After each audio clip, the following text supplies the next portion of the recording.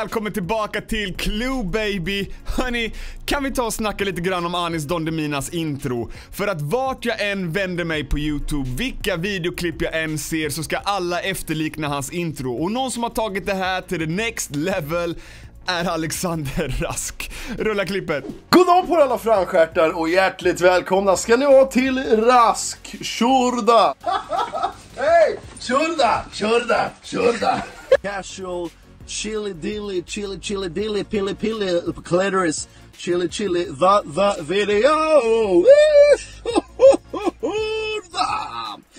Det här har gått så långt att Alexander Rask har börjat göra det här i typ varje video. Jag tror att Alexander Rask själv börjar tro på att det är hans intro och att Anis har klippt det från, från Rask. Anyway, det här är ingen nyhet. Jag tycker bara det är så här fett creepy när typ 20-25 olika kreatörer Youtube Sverige börjar sina videos med video körda. Tja på mycket välkomna ska du vara tillbaka till en ny video! Hörni, jag vill tacka för den grymma supporten jag fick igår. Det värmde väldigt gott nu när man har lite dåligt självförtroende och försöker hitta tillbaka till sitt content. Det har varit här under en tid att jag typ har levererat väldigt mjukt, varit väldigt mycket vanilj om man säger så. Väldigt, väldigt lugna nyheter. Och då har folk liksom sagt ah, du, är, du är så tråkig och kolla på du var roligare förr. Så går man tillbaka till det man gjorde förr där man såhär små roastar lite i nyheterna på ett roligt sätt. Uh, jag, jag menar aldrig att såra människor utan jag vill bara leverera content, något här underhållande för er att kolla på och roasting är typ det enda jag är duktig på uh, om jag skulle säga det själv.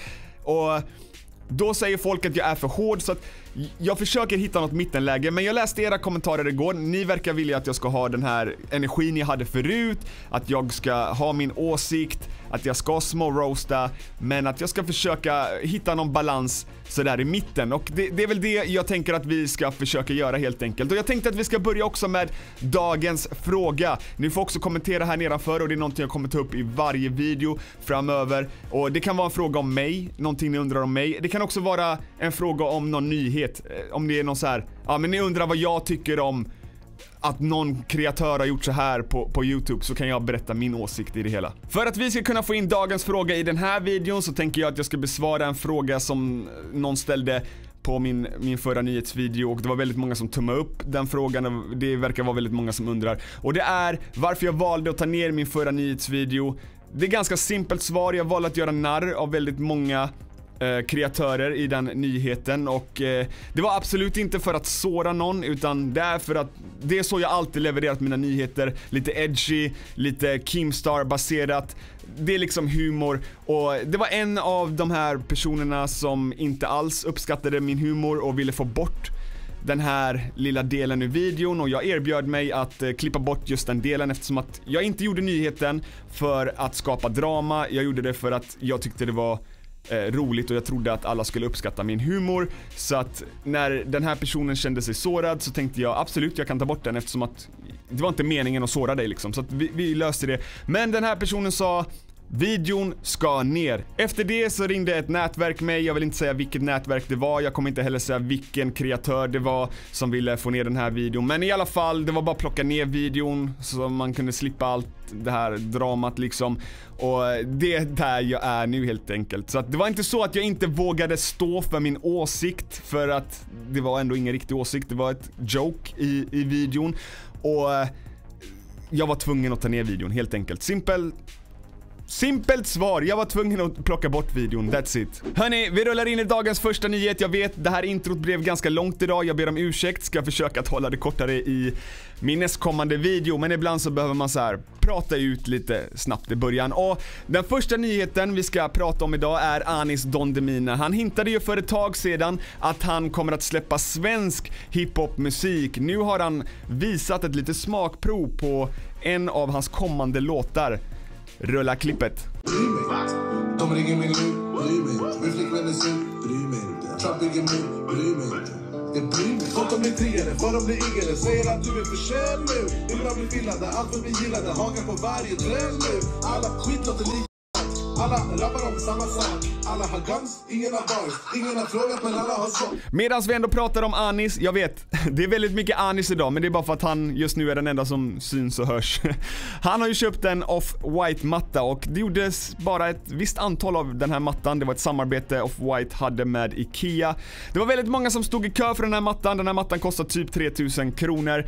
Anis och Samir valde att gå fram till de personerna som stod längst fram i kön och erbjuda dem 7000 kronor ifall de fick köpa deras matta, vilket de fick. Okej, Anis är min vän, men vem fan lägger 7000 kronor på en matta? Trodde ni att vi var klara med Anis så trodde ni fel. Anis släppte igår en video som han gjorde tillsammans med Joakim Lundell där han intervjuar Joakim Lundell. Den här videon var ungefär 50 minuter lång med snaskig information för alla de personer som verkligen vill komma närmare Joakim Lundell. Joakim avslöjar bland annat i den här videon att hans pranks har varit fake. Inte så att de har suttit och skrivit fake manus utan att de har fått ta om vissa reaktioner för att de inte har blivit bra eller för att kameran har stått fel och så vidare. Så att det har varit en del pranks som faktiskt inte har varit legit äkta om man säger så.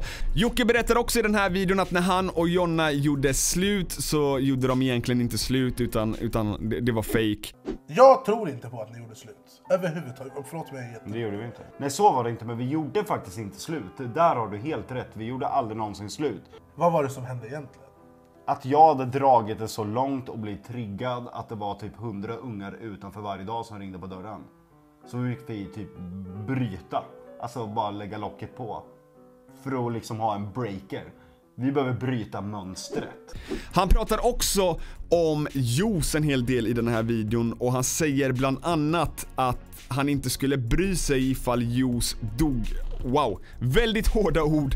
Eh, rulla klippet. Av alla saker jag gjort och sagt om alla människor så kan jag nog skämmas för 99%. Men den 1% jag aldrig kommer skämmas för. Och alltså jag, jag kan säga med gott samvete, jag hade inte brytt mig, det hade inte rört mig i ryggen om Jos dog imorgon.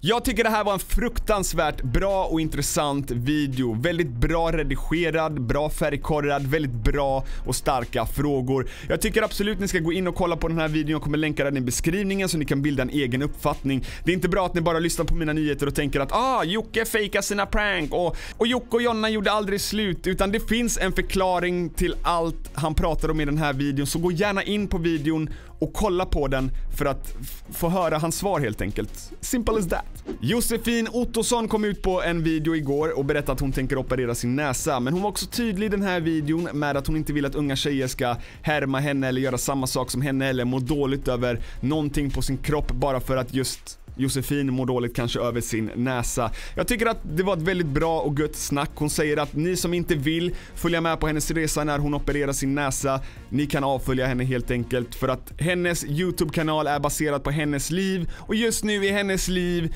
så ska hon operera sin näsa. Rulla klippet. Eh, jag gör liksom vad jag vill, jag gör det jag mår bra av och jag hoppas verkligen att ni inte blir liksom påverkar eller triggar och känner att ni måste typ tycka att ni är fula och ändra någonting på er sen. För att, nej.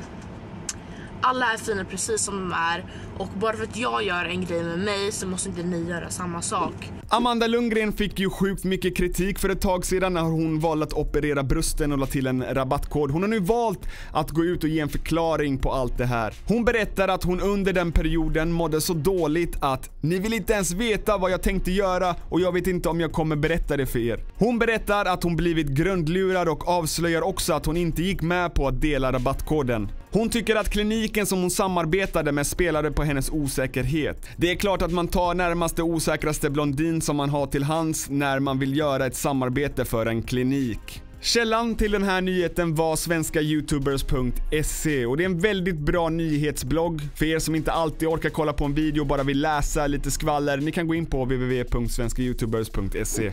Det ryktas på sociala medier att det är en kärleksromans mellan Amanda Strand och Dante från Hovet. Det var en av Hovets följare som tog en bild med Dante för ett tag sedan som kunde avslöja att Dante var tillsammans med Amanda Strand. Amanda kommenterar också väldigt mycket på Dantes bilder på Instagram och sånt där så att jag vill veta veta vad ni tror, det här är bara skvaller som sagt. Tror ni att det är någonting mellan de här personerna? Kommentera gärna nedanför. Jakob Berg kom ut med en video på Bröderna Bergs YouTube-kanal där han först och främst ber om ursäkt till hans nära och kära och, och familj och följare för hans beteende när han var tillsammans med Jessica. Han säger att han mådde väldigt dåligt då, men han är på bättringsvägen, men, men mår fortfarande inte helt hundra. Han säger också i den här videon att alla människor som följer Jessica ska avfölja henne. Rulla klippet. Nu i efterhand så känner jag det att hon var bara ute efter att få följare på Instagram helt enkelt. Och nu har hon ju massa följare.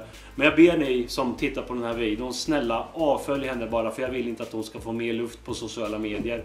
Jessica kom ju såklart ut på Instagram med ett svar och hon skrev så här. Ingen har med min graviditet att göra helt ärligt och att dumjäveln på andra sidan sitter och är helt robot och slav för sin bror är upp till honom. Det jag vet är att jag aldrig vill veta av den där lowlifet någonsin igen. Och att jag sitter och besvarar alla som är nyfikna bara för att de mjölkar mitt namn fortfarande betyder inte att jag lever mitt liv som jag borde.